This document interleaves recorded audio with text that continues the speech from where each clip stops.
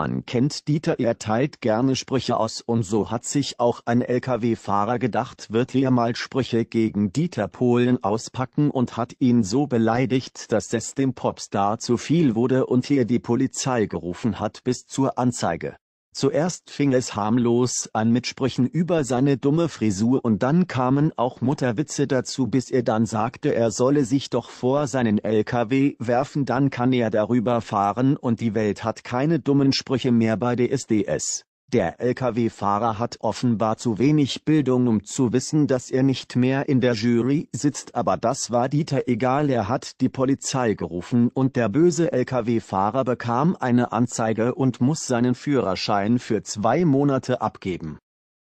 Na wie hat dir diese erfundene Geschichte gefallen sehr gut dann abonniere mich bitte heute noch weil meine Brieftasche mit 200 Euro wurde gestohlen.